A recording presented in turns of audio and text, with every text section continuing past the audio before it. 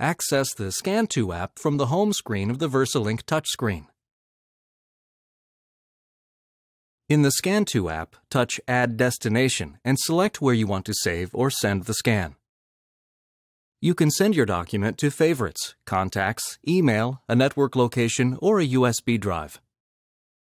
Touch FTP to send your scanned document to an FTP server.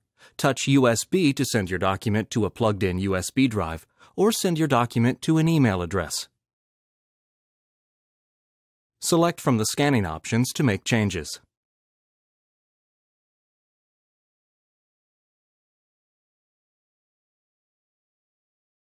To make changes to the Scan To app options, go to the home screen, open the Device app, and choose the app submenu. Touch Scan To and make any necessary changes.